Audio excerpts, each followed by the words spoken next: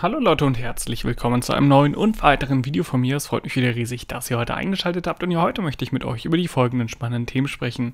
Als allererstes gucken wir uns die Kaufstrategie von MicroStrategy an, die bereits in der Vergangenheit eine riesige Bitcoin-Investition getätigt haben und nun ja nochmal 175 Millionen US-Dollar im Markt gepumpt haben.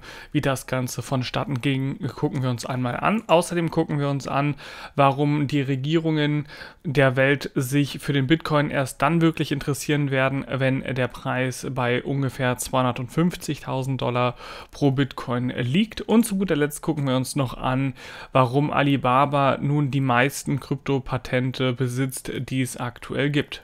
Gucken wir uns das allererste Thema an und hierbei geht es um den CEO von MicroStrategy, über den wir ja bereits in den letzten Tagen das ein oder andere Mal gesprochen haben. Wir haben ja mitbekommen, dass MicroStrategy als Softwareunternehmen angefangen hat, in den Bitcoin-Bereich zu investieren und das haben sie nicht einfach mal so gemacht und mit ein wenig Spielgeld, sondern sie haben bei der ersten Investition knapp 250 Millionen US-Dollar in die Hand genommen, um damit halt sehr, sehr viele Bitcoins zu kaufen.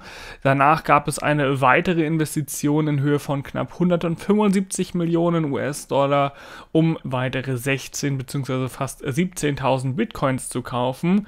Und die Frage, die stellte sich natürlich der ein oder anderen Person, wie dann das Ganze funktionieren kann, wie man dann 175 Millionen US-Dollar investieren kann und was man dabei so beachten muss. Und das Ganze wurde dann erklärt in einem Tweet von dem Geschäftsführer und er schrieb, um 16.796 Bitcoins zu erwerben, mussten wir 74 Stunden lang Transaktionen abwickeln. Dabei haben wir insgesamt 88.617 Trades durchgeführt, die jeweils einen Wert von 0,19 BTC hatten und alle drei Sekunden getätigt wurden. Damit konnten also knapp jede Minute 39.414 Dollar eingekauft werden bzw. ausgegeben werden oder getauscht werden gegen Bitcoins man war sich aber auch darüber im Klaren, dass der Kurs theoretisch mal eben um 1 bis 2 Prozent hätte fallen können. Und wäre das passiert, dann hätten sie innerhalb von wenigen Sekunden 30 bis 50 Millionen US-Dollar mehr investiert, um einfach die Position zu festigen. Man sieht also, dass das Unternehmen auf jeden Fall strategisch sehr klug unterwegs war, sich auf alle Eventualitäten vorbereitet hat und so also versucht hat, das meiste aus dieser ganzen Geschichte herauszubekommen bekommen. Wie ja schon davor gesagt, haben sie bereits davor Erfahrung sammeln können in dem ganzen Kontext, haben hier sicherlich noch mal länger als 74 Stunden gebraucht, um knapp 21.454 Bitcoins im Gegenwert von knapp 250 Millionen US-Dollar zu kaufen. Das Ganze war bei den 16.796 Bitcoins eben ein relativ langer Weg, um diese ganzen Bestände eben zusammenzubekommen und es sieht so aus, aus, als würde MicroStrategy ein super starker Fan der ganzen Geschichte sein. Das macht natürlich Sinn bei diesen Investitionen, aber auf der anderen Seite sehen Sie oder glauben Sie eben bei dem Bitcoin eher äh, daran, dass der Bitcoin eben als Wertaufbewahrungsmittel funktioniert und dadurch skaliert werden kann? Und das ist natürlich eine wichtige Sache, was mich zu dem Schluss bringt, dass MicroStrategy vielleicht in Zukunft nochmal die Position vergrößern könnten. Ob es dann wieder 175 oder 250 Millionen US-Dollar sein werden oder eben ein bisschen weniger oder mehr, das werden wir sicherlich in Zukunft sehen. Auf jeden Fall ist es super positiv zu sehen, dass sich eben ein Softwarehersteller mit dem ganzen Thema auseinandersetzt und eben auch entsprechende Investitionen wagt, um langfristig gut positioniert zu sein. Das Ganze führt natürlich automatisch dazu, dass die Branche sich allgemein damit auseinandersetzt, aufmerksam darauf wird und dann gegebenenfalls sogar nachdenkt, hier ebenfalls einzusteigen. Und das kann sich auf jeden Fall nur positiv auf den Bitcoin langfristig auswirken. Was haltet ihr von dem Kaufverhalten von MicroStrategy und hättet ihr die Ausdauer, 74 Stunden lang Transaktionen abzuwickeln? Schreibt es gerne mal unten in die Kommentare. Gucken wir uns das zweite Thema an. Und hierbei geht es vor allem um die Aussage, dass die Makroautoritäten den Bitcoin erst für relevant halten, wenn der Bitcoin-Preis bei 250.000 US-Dollar liegt.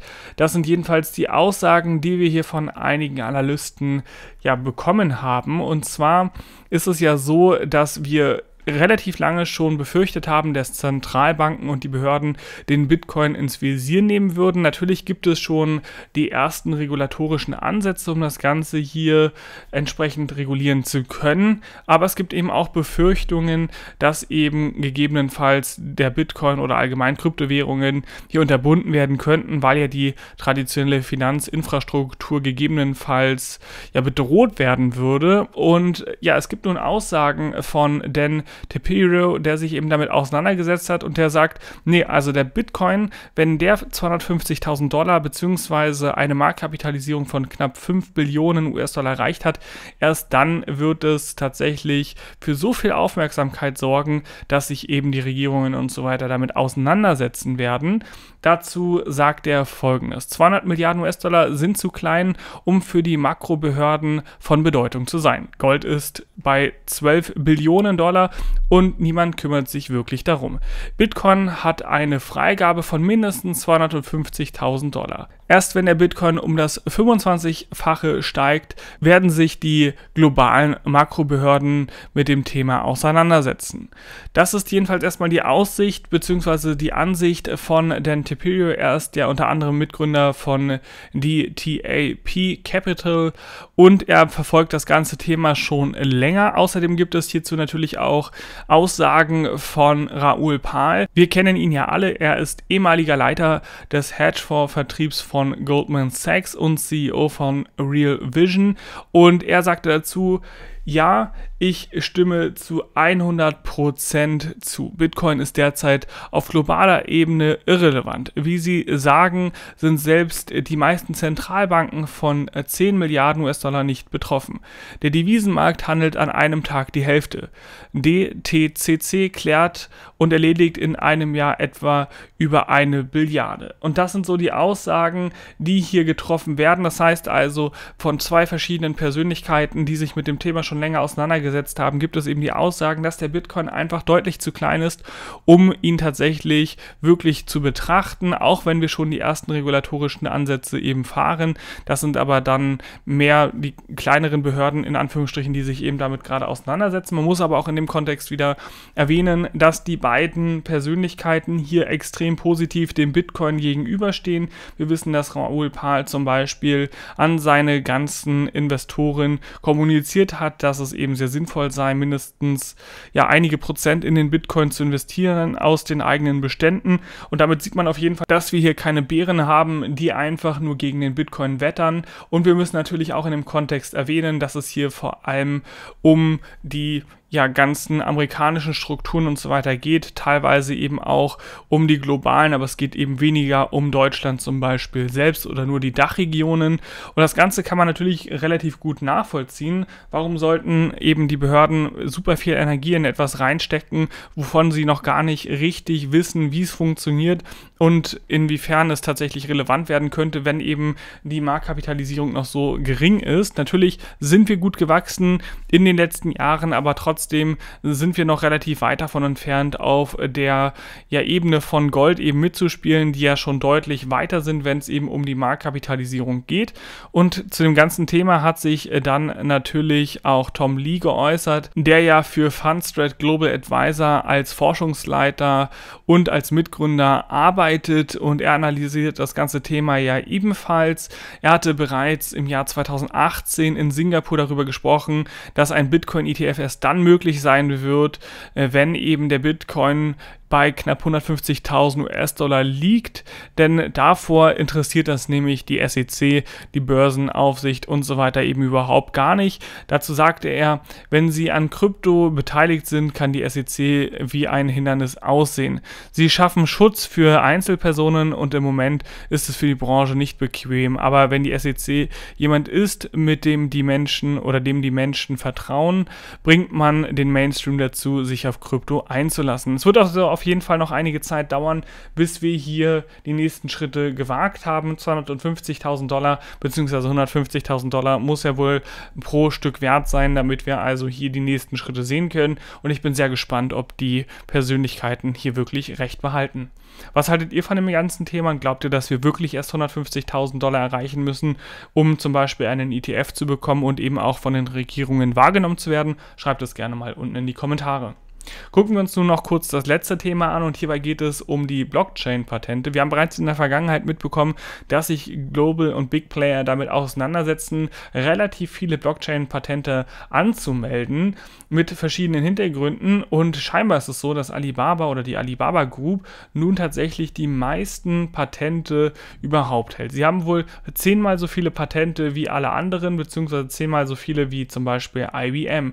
Und das ist natürlich erstmal eine Ansage, weil IBM ja schon relativ aktiv ist, sich mit dem Thema hier auseinanderzusetzen.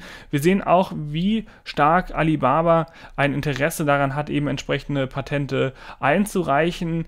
Alleine im Jahr 2020 waren es knapp über 200, die hier eingereicht worden sind. Sie haben damit erst 2018 angefangen. IBM ist da schon ein bisschen länger aktiv und hat bereits 2016 angefangen, die ersten eben anzumelden. Was man ja auch dazu sagen muss, ist ja, dass hinter IBM eben auch Mastercard, Enchain oder Walmart stehen, die natürlich auch riesige Unternehmen und Strukturen haben, wo man eigentlich davon ausgehen könnte, dass sie gegebenenfalls anfangen würden, hier entsprechend entsprechende Patente anzumelden. Das große Thema ist aber, dass eben die meisten ja, Blockchain-Only-Firmen gar keine Patente einreichen, sondern es sind eher so diese Unternehmen, die an der Börse und so weiter gehandelt werden. Das Ganze wird sich sicherlich in der Zukunft noch so ein bisschen verändern. Wenn wir uns dann aber mal die allgemeinen Informationen angucken, dann liegen wir gerade bei IBM bei 240 Blockchain-Patenten. Rechain liegt bei 279. Wir haben WeBank mit 282 480, Enchain mit 402 und dann haben wir noch Tencent, die eben bei 724 Blockchain-Patenten liegen und am Ende gibt es dann nur noch eine Firma, die am meisten hält und das ist eben die Alibaba Group, die aktuell bei 1505 Blockchain-Patenten eben liegt. Letztendlich muss man natürlich auch sagen, dass ein Patent natürlich noch lange nicht bedeutet, dass wirklich etwas umgesetzt wird. Man behält sich eben das Recht vor, bestimmte Dinge eben exklusiv umsetzen zu können und möchte das eben schnell schnell genug schützen, um sich dann an die Arbeit zu machen, beziehungsweise um in Zukunft eben die Möglichkeit zu haben, in diesem Feld aktiv zu werden. Man sieht also, dass es mehr ja, Tendenzen dahin gibt, einfach irgendwelche Patente anzumelden, anstatt wirklich an einem richtig zu arbeiten. Gut, ich hoffe, euch hat dieses kurze und informative Video gefallen. Falls es so war, würde ich mich riesig über einen Daumen nach oben freuen und wenn ihr weitere Videos zu dem oder anderen Themen sehen wollt, dann solltet ihr auf jeden Fall direkt erstmal ein Abo da lassen. Ansonsten hören und sehen wir uns die Tage wieder. Ciao, ciao.